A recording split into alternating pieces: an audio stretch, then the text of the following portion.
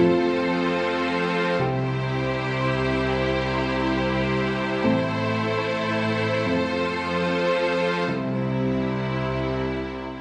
Hallo Leute, heute möchte ich euch mitnehmen in eine meiner absoluten Lieblingsregionen der europäischen Alpen, das Ötztal. Kein anderes Gebiet bietet so viele und abwechslungsreiche Bergtouren wie dieses Fleckchen Erde.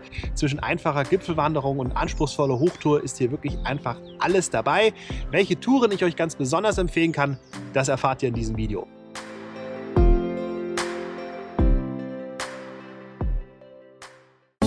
Bergtouren im Ötztal sind vielseitig und eine Auswahl fällt sicherlich nicht immer ganz leicht. Zudem hängt es natürlich ganz stark davon ab, welche Erfahrungen ihr mitbringt und wie fit ihr seid. Deswegen habe ich mir vorgenommen, das Ganze ein wenig aufzubauen, beginnend bei den einfacheren Touren bis hin zu den anspruchsvolleren Touren. Einen wunderbaren und relativ gemächlichen Einstieg in die Bergwelten des Ötztals bietet der Gamskogel. Am Gipfel hat man einen fantastischen Ausblick auf Längenfeld und die umliegende Gebirgslandschaft. Das Tolle dabei, die Tour ist nicht allzu lang und lässt sich in einer guten Halbtagestour auch mit dem E-Bike gut kombinieren. Von Gries aus geht's zu Fuß oder mit dem E-Bike rauf zur Nisselalm. Dort kann man wunderbar einkehren und rasten. Das Radl könnt ihr stehen lassen und dann durch wunderschöne Grasböden und leichte Kraxelei rauf zum Gipfel steigen.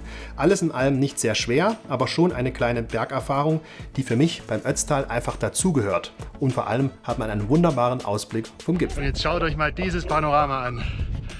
Der Hammer.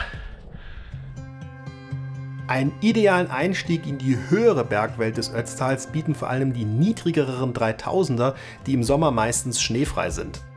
Klassiker sind hier sicherlich der Hangerer am hinteren Ötztal oder das wilde Mandle, das sich zudem mit Seilbahnunterstützung besteigen lässt. Meine Empfehlung ist aber hier ganz klar der 3079 Meter hohe Funduspfeiler. Der bietet nämlich einen gemächlichen Wandereinstieg und baut sich dann Stück für Stück zu einer Bergtour auf. Vor allem das letzte Stück hat mit den ersten kleinen Kletterpassagen, einem irren Gipfelausblick sicherlich schon den Anspruch einer Bergtour. Wem die knapp 2000 Höhenmeter zu viel sind, der kann das Ganze mit einer Übernachtung auf der Frischmannhütte verkürzen. Zudem bietet der Ausgangsort Köfels noch zahlreiche andere Touren, beispielsweise den Wenderkogel, der sich optimal als Eingehtour eignet. Wer Schnee, Eis und Gletscher meiden möchte und trotzdem hoch hinaus will, dem empfehle ich einen richtigen Giganten im Ötztal. Mit 3497 Metern ist der Schrankogel komplett gletscherfrei und das inmitten der Gebirgswelt des Ötztals. Idealerweise plant ihr das Ganze als Zweitagestour mit einem Halt auf der wunderbaren Amberger Hütte. Starten könnt ihr in Längenfeld oder Gries. Beide Orte bieten sich an, das Ganze mit dem E-Bike zu kombinieren und den langen Aufstieg zur Hütte etwas zu verkürzen. Das macht die Tour in meinen Augen vor allem in den frühen Morgenstunden zu einem richtigen Augenschmaus und ein Frühstück auf der Amberger Hütte ist auch nicht verkehrt. Ab dort erwartet euch eine Bergtour, die ihr nicht mehr vergessen vergessen werdet.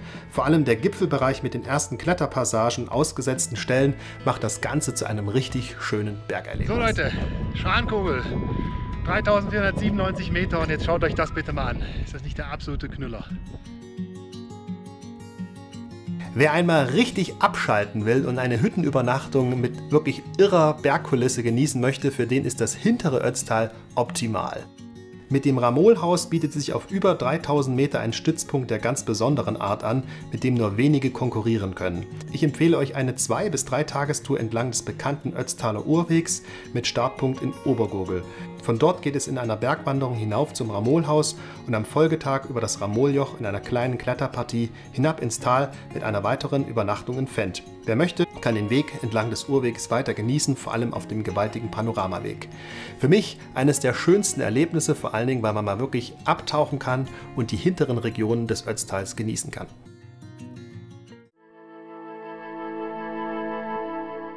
Für mich hat sich die alpine Welt des Ötztals vor allem durch einen Gipfel ganz besonders eröffnet und deswegen gebührt diesem Gipfel auch eine ganz besondere Stellung. Der Semilaun. Mit 3606 Metern gehört er nicht nur zu den höchsten Gipfeln Österreichs, sondern auch zu einem der beliebtesten. Warum das so ist, lässt sich vor allem durch seinen recht guten und verhältnismäßig einfachen Zustieg erklären. Er liegt nämlich genau am bekannten Fernwanderweg E5. Von Fendt geht es zunächst in einer gemütlichen Wanderung entlang eines langen Tals bis zur Martin-Busch-Hütte oder der etwas höher gelegenen Semilaunhütte. Vor allem für Hochtouren-Einsteiger ist der Gipfel in Kombination mit einer Hüttenübernachtung und einem Bergführer ein optimales Ziel.